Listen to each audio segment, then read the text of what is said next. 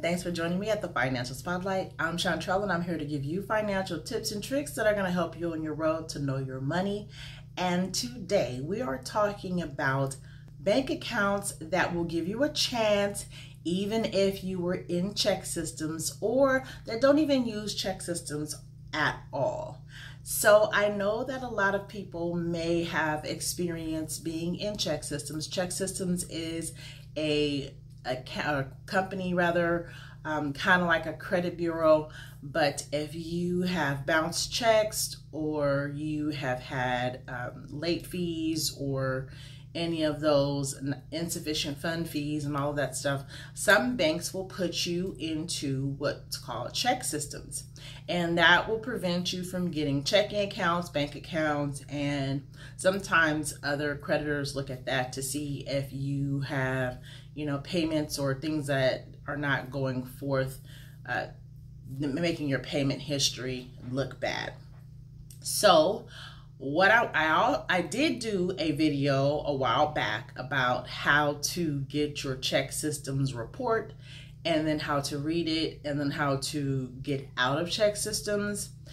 But this video is about whether you're when you've gotten out of ChexSystems and then what you need to do next or if you're still in ChexSystems and you're still working that out and then these accounts might give you a second chance. So the first one is US Bank. Now I know that US Bank does not have banks or branches in every city or state. When I was living in Lufkin, Texas, they didn't have a US Bank.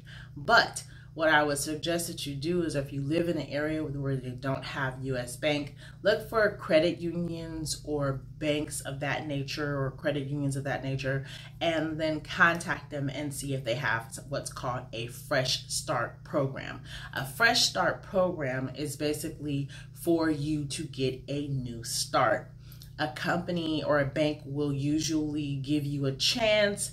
They'll say, okay, we'll open up this type of restricted account for you for a time frame to just see if you are going to pay things the way you said you would pay them or if everything uh, works out for you. And then once they see that your history is well, then they may switch you over to a regular bank account. So the first one is US Bank. The second bank is SoFi Online Bank.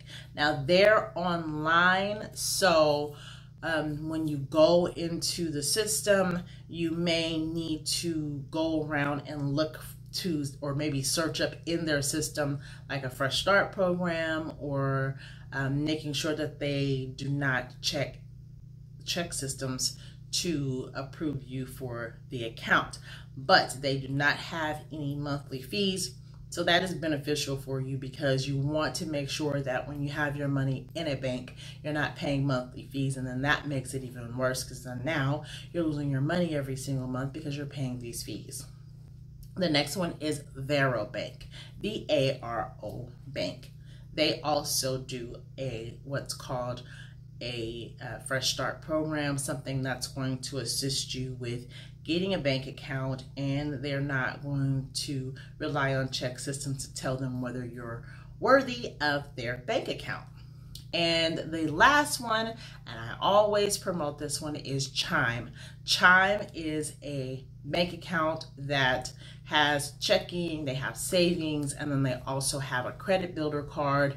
And using them is going to help build your credit up once you get the credit builder card, but also they have the savings that has an interest um, amount in there. I think right now their interest is up to 2%. So that might be something that you want to look into. Again, they are also online or on an app, so you would have to apply that way. Now, this is very important, and I want you to listen to this.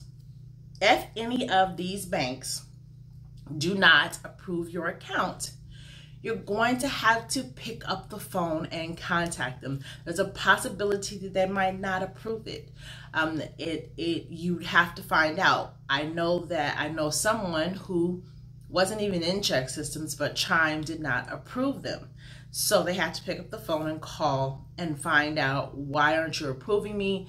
There was something about the address. It wasn't even about their credit or their ChexSystems' history or anything like that. Addresses were not um, adding up the way uh, Chime wanted them to add up. So they had to fix that, give them the information, and make the changes. So it is doable guys there's it's important though that you have to communicate for yourself you can't just rely on the bank and if they say no we don't want to work with you um, or if they deny your application you can't just say okay well never mind. They didn't want me. No you have to advocate for yourself and you have to push forward and you have to say okay why? Call them.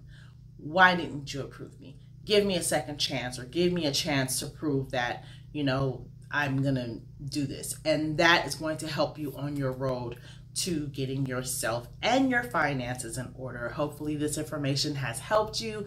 Make sure that you like this video so that they know that people like this type of information and it can go out to more people. I'm trying to help as many people as possible. Thank you so much for joining me today. Like I said before, if you have any questions, any comments, any concerns, make sure you put those in the comment section because I always respond. And if I don't have the answer immediately, I will research it and then I will get back to you in the comment section. Thank you so much for joining me and have a great one. Bye.